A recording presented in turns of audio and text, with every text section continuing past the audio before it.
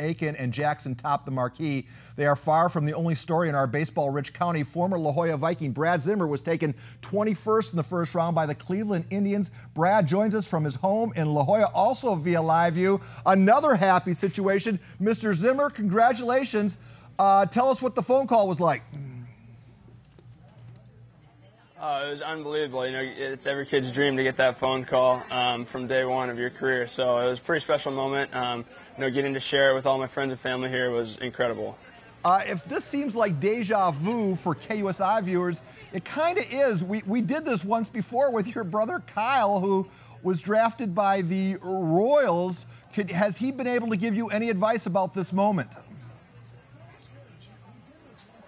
Um, a little bit, yeah. I mean, he's obviously been um, a huge role model in uh, my baseball career, and having him alongside, um, you know, kind of learning from what he's done in the past and the, the development he went through um, as a junior in college was definitely um, a leap in the right direction for me. So it was uh, definitely very helpful.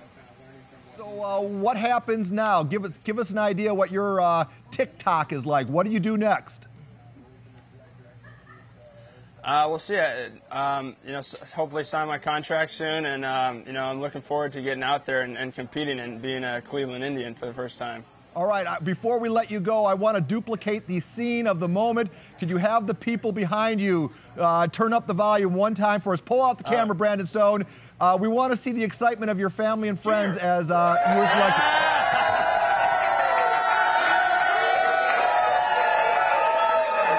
Mr. Zimmer. thank you for taking time to join us. And boy, I'm sure it's a very exciting night. And thank you for sharing some of that excitement with us. Absolutely. Thank you very much. All right.